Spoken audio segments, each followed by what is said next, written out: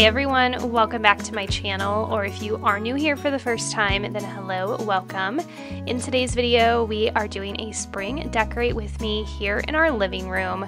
We're going to start at our arched cabinet. I absolutely love this furniture piece. It's one of my favorites in our home. It was a huge splurge, and we've actually had it for almost a year now, which is kind of crazy to think about. So I took everything out because I wanted to fully restyle this area. I'm going to give it a really good wipe down because with it being black, it definitely holds a lot of dust.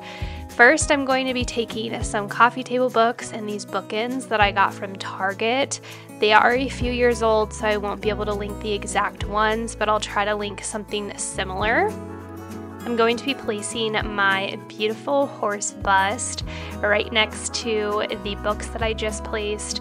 I really want to either spray paint or get a different one of these horse busts. I feel like there's too much white on the top shelf and I saw one at Kohl's that I really liked and of course I went back and it's not available anymore. It's sold out. So I'm going to keep checking back. My other idea is getting the stone-like spray paint to give it some texture and add some warmth up to that top shelf. I really like how organic and modern this bookshelf looks, the way that I style it, and I feel like the top shelf is kind of throwing that off with how much white there is. For the second shelf, I'm just layering in some pictures. I love this frame from Frame It Easy. The art is from Etsy. The little black frame is from Target and the wooden pedestal is from Michaels. I love those candles. They're battery powered from Amazon. I use them all over my house and it definitely gives a nice cozy feel with them on. Right next to that little vignette that I just created, I'm going to take this jug that I got from the vintage market a couple years ago and I'm taking some greenery. This is unfortunately not available from Target anymore. You guys love that greenery so much. I'm also taking this vase from Hobby Lobby that my neighbor actually got me for my birthday last year and I love pairing these two together. Having the contrasting colors and the greenery adds a nice little pop against the black bookshelf. Moving down to the next shelf, I'm taking this paper mache bowl that I also got at the vintage market and some of my beaded garland and I'm just kind of draping that out of the side of it. I also have this paper mache bowl on a black pedestal, but you cannot see that obviously because it blends in, which I really like. To the right of that, I'm taking this wood tray from Arhaus, which is unfortunately not available anymore, with a vase that I DIY'd and another vase from Target. For the bottom shelf, I'm taking my new beautiful driftwood piece.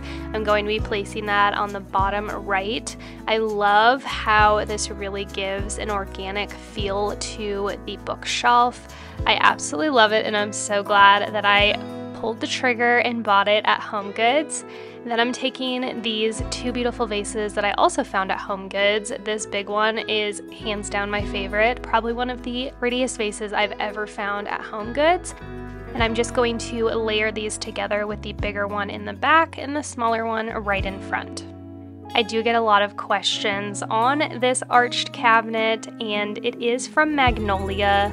I love it so much. I like that it's a little different than what everyone else has. A lot of people have them from Arhaus or Crate and Barrel, and I wanted something different. And honestly, I've never seen anyone else that I follow have this exact bookshelf. So if you guys are interested in getting it, definitely wait for a sale, and I will have it linked in the description box below. For our mantle, I'm going to be finally taking down my winter greenery here. It makes me kind of sad because I really liked this greenery on our mantle, but I'm going to be taking all of it down and adding in some spring and summer greenery.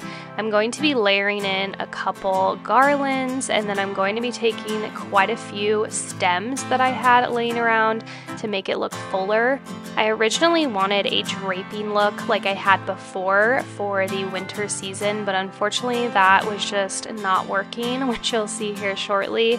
So I decided to just put the garland on the top of the mantle and have have it draping off the side.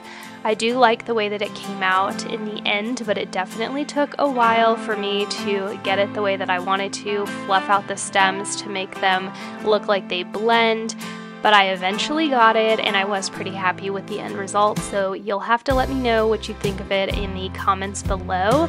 This area is a little harder to style because we have a TV right above it, so it's not like I can style this area with too many things, but I also don't like to leave it completely plain. So if you have any recommendations, if you don't like the way that I did the garland, make sure to leave them in the comments below.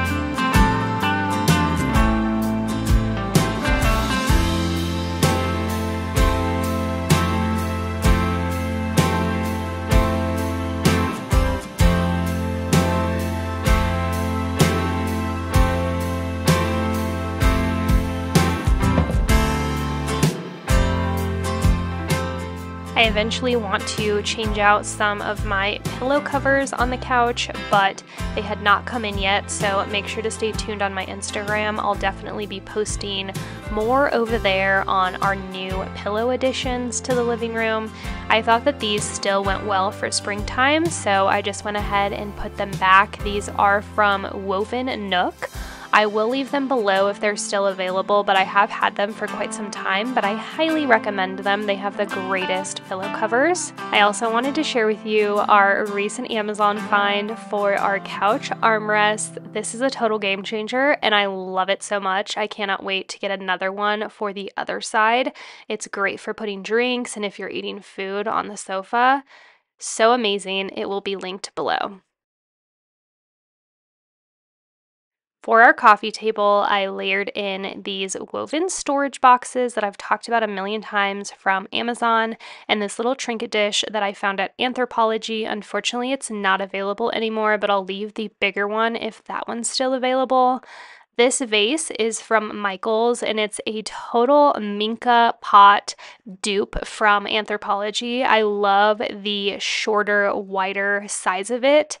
And then I'm just putting in my favorite spring stems for the season. These are from Target. I will link them.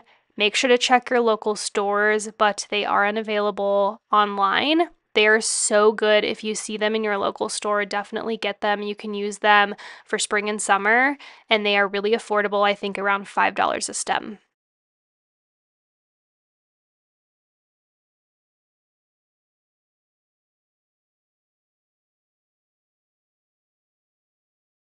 To finish off this look, I'm adding in my favorite coffee table book and this scalloped bowl that I found on Amazon that you guys love.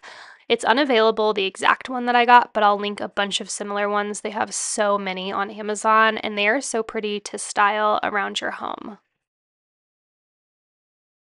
So that is going to complete this video. I hope that you guys enjoyed it. If you did, please make sure to subscribe and follow me over on Instagram. The link is always in the description box down below, and I'll see you in my next one. Bye.